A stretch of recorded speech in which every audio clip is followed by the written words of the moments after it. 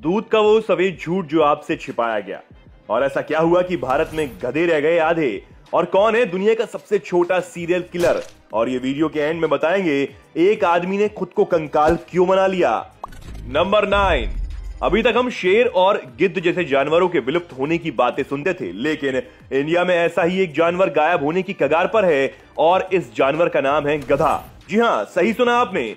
Indian government की एक report के मुताबिक देश में अब सिर्फ़ सोलह हज़ार गधे ही रह गए हैं, जबकि 2011 में ये पूरे इकसठ हज़ार थे। एक्सपर्ट्स का मानना है कि भारत में बड़े पैमाने पर गधों को खाया जा रहा है और पॉसिबल है कि उनकी खाल को भी स्मगल किया जा रहा है, और इसी वजह से गधे अब बहुत कम रह गए हैं। और ये टेंशन लेने वाली बात है, क्योंकि गधे भी उतने ही ज़रूरी हैं जितने की बाकी जानवर। नंबर एट फ़िल्मों में सीरियल किलर तो आपने बहुत देखे होंगे, लेकिन बिहार के बेगूसराय में रहने वाले अमरजीत सदा ने कुछ ऐसा किया कि हॉलीवुड की बड़ी बड़ी फ़िल्मों भी छोटी पड़ गईं। हुआ ये कि साल 2007 में बेगूसराय के मुसहरी गाँव में एक के बाद एक दो बच्चों की हत्या हो गई, लेकिन कातिल का पता नहीं चल पा रहा था फिर इसके बाद जब एक और बच्ची का मर्डर हो गया, तब जाकर पता चला कि आठ साल के अमरजीत ने ही उन बच्चों का मर्डर किया है पुलिस ने जब अमरजीत से इसके बारे में पूछताछ की तो पता चला कि अमरजीत उन मासूमों को सिर्फ़ इस वजह से ऊपर पहुँचा देता था, क्योंकि उसे लोगों को मारने में मज़ा आता था। और इस तरह से अमरजीत महज आठ साल में ही दुनिया का सबसे छोटा सीरियल किलर बन गया। नंबर सात, साउथ इंडिया के मंदिर अपने आप में रहस्यों का गढ़ है। ऐसा ही एक मंदिर मौजूद है आंध्र प्रदेश में, जिसका नाम है तिरुपति बालाजी मंदिर। इस मंदिर में स्थित भगवान का वास्तविक नाम श्री वेंकटेश्वर स्वामी है। जो स्वयं भगवान विष्णु हैं। इनकी मूर्ति इतनी रियल है कि इन्हें देखकर लगता है कि जैसे भगवान विष्णु स्वयं यहाँ विराजमान है। आपको बता दें, इस मंदिर में तापमान कम रखा जाता है क्योंकि यह भगवान की मूर्ति से पसीना आता है।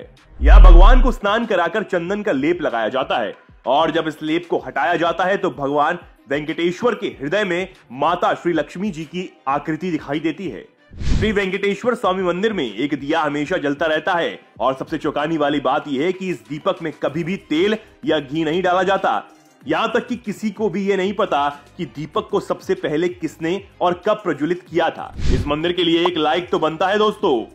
नंबर छह, आज कोरोना के चलते भले ही ऑनलाइन क्लास मजबूरी बन गई है, लेकिन आप यकीन नहीं करेंगे कि साल उन्नीस में भी एक देश में ऑनलाइन क्लास चलाई गई थी। हुआ यूँ कि अमेरिका के शिकागो में साल उन्नीस सौ सैंतीस में पोलियो बीमारी फैल गई, जिसकी वजह से लोगों को घरों में कैद कर दिया गया। इस बीमारी की वजह से बिल्कुल आज की तरह ही बच्चों की पढ़ाई लिखाई चौपट हो गई थी। बच्चों का फ्यूचर बर्बाद ना हो, इस बात को ध्यान में रखते हुए शिकागो की सरकार ने एक स्टेप लिया, जिससे कि घर में ही रहकर बच्चे अपनी पढ़ाई पूरी कर सकें। आपको बता दें, उस समय बच्चों की क्लासेस रेडियो पर चलाई गई थी और इस तरह बच्चों ने घर पर ही रहकर आज की तरह ही अपनी पढ़ाई पूरी की थी। नंबर पाँच, दूध के कई फ़ायदे आपने सुने होंगे, लेकिन आज हम आपको दूध के बारे में फैलाए गए उस झूठ के बारे में बताएँगे, जिसके बाद आपके मन में दूध की इंपॉर्टेंस कम हो जाएगी। असल में हमें बचपन से ही बताया जाता है कि दूध पीने से हमारी हड्डियाँ मज़बूत होती हैं, लेकिन असली कहानी कुछ और ही है। आपको बता दें, स्वीडन की एक रिसर्च बताती है कि दूध को ज़्यादा पीने से हड्डियाँ मज़बूत नहीं होती बल्कि और कमज़ोर हो जाती हैं। सही सुना आपने। इस रिसर्च के मुताबिक जो लोग दिन में तीन गिलास दूध पीते हैं, उनमें हिप फ्रैक्चर होने का खतरा हो जाता है। इस रिसर्च में यह भी पाया गया है कि पुरुषों की तुलना में महिलाओं को दूध पीने से कमज़ोर होने का खतरा ज़्यादा होता है।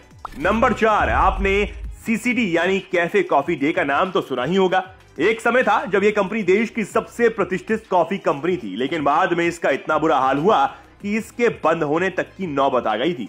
यहाँ तक कि कर्ज से परेशान होकर कंपनी के सीईओ वीजी सिद्धार्थ ने आत्महत्या कर ली थी।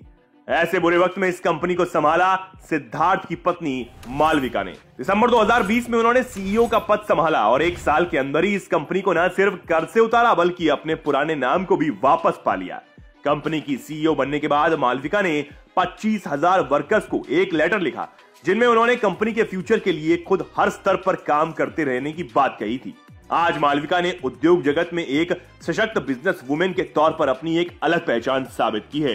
नंबर तीन, दुनिया का सबसे बड़ा जंगल अमेजोन है, ये तो आपको पता ही है। पर कुछ ऐसे ही अनोखे फैक्ट्स इस जंगल के बारे में और भी हैं जो इसे दिलचस्प बना देते हैं। जैसे कि दुनिया की लगभग 20 प्रतिशत ऑक्सीजन इसी जंगल की देन है। ये जंगल इतना बड़ा है कि इसमें हमारा भारत देश दो बार फिट हो सकता है, क्योंकि ये जंगल 55 लाख वर्ग किलोमीटर में फैला हुआ है। आज पृथ्वी पर जितने जीव हैं, उसके एक तिहाई को एक साथ आप यहाँ देख सकते हैं। आपको बता दें अमेजोन जंगल में चार अरब से भी ज़्यादा पेड़ हैं। इसमें सत्रह हज़ार से ज़्यादा पेड़ों की अलग अलग प्रजातियाँ हैं। ये पेड़ इतने बड़े और घने हैं कि सूर्य की रोशनी भी धरती तक नहीं पहुँच पाती। और यही नहीं, विश्व में फैले जंगलों का बासठ प्रतिशत हिस्सा सिर्फ़ अकेले अमेजोन रेन फॉरेस्ट का है। क्या आपको ये बातें पहले पता थी? नंबर दो, लोगों को तरह तरह के शौक सर चढ़ जाते हैं। ऐसा ही एक शख्स था, जेसन बार्नम। अमेरिका के अलास्का में रहने वाला जेसन एक खूखार अपराधी था और उसने एक पुलिस ऑफिसर की गोली मारकर हत्या कर दी थी। जेसन को टैटू का शौक था, जिसकी वजह से उसने अपने सिर से लेकर अपने चेहरे के एक हिस्से तक टैटू बनवा रखा था। उसके चेहरे की बनावट कुछ ऐसी थी कि उसे देखकर ऐसा लगता था कि जैसे कि कोई कंकाल चल रहा हो। यही नहीं, उसने अपनी एक आँख को भी पूरी तरीके से काले रंग से पुतवा लिया था, जिससे वो और भी खूखार लगने लगा था। आपको बता दें, साल 2018 में उसकी अपने घर में ही मौत हो गई थी। नंबर एक, क्या आपको भी कभी नींद में ऐसा महसूस हुआ है कि आप गिर रहे हैं और एकदम से आपको झटका लगा हो और आपकी नींद इस झटके से टूट गई हो? आखिर ऐसा क्यों होता है? इस झटके को हाइपनिक जर्क कहा जाता है। साइंटिस्ट इसके बारे में बताते हैं कि जब हम सो जाते हैं, तब एक मोमेंट ऐसा आता है कि जब हम कच्ची नींद में होते हैं, यानी हमारा दिमाग सोने और जागने के बीच में होता है और कंफ्यूज हो जाता है। कुछ रिपोर्ट्स ये भी बताती हैं कि सोते समय मसल्स में ऐठन होने के कारण हमें झटके महसूस होते हैं। यहाँ तक कि ये झटके थकान महसूस करना, तनाव में होना या ज़्यादा कैफीन यानी कॉफ़ी वगैरह लेने से भी हो सकता है। तो दोस्तों, आज के सफ़र में बस इतना ही। उम्मीद है फैक्ट्स के इस रोमांचक सफ़र ने आपके ज्ञान को बढ़ाया होगा और आपको कुछ नया एंटरटेनमेंट भी मिला होगा। अगर आपको ये वीडियो पसंद आया है तो वीडियो को लाइक शेयर करना ना भूलें। और अगर आप चैनल पर नए हैं तो चैनल को सब्सक्राइब करना बिल्कुल ना भूलें। मैं फिर मिलूँगा अगले हफ़्ते नए फैक्ट्स के साथ। आपका बहुत बहुत शुक्रिया।